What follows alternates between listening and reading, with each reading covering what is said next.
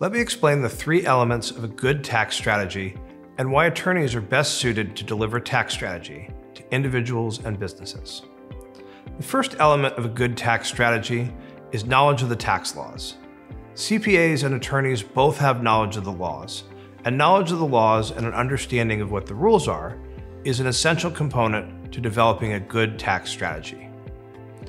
From there, there's a key differentiation between CPAs, or tax compliance, and tax attorneys, which is advocacy and strategy.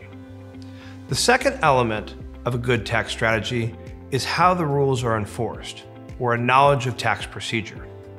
Tax procedure takes the rules and looks about how the IRS or the state is going to apply those rules and the context of what they're going to be enforced.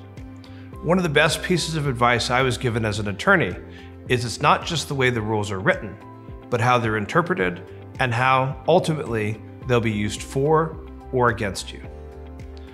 The third essential component of a good tax strategy, which is something that a lot of lawyers miss, is something that I define as situational awareness. Situational awareness is the ability to see the playing field.